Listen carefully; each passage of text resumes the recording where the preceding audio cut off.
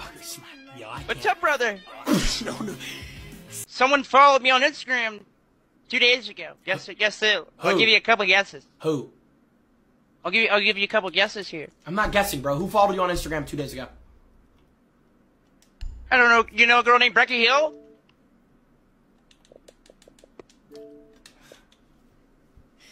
Okay. It's not serious or anything, brother.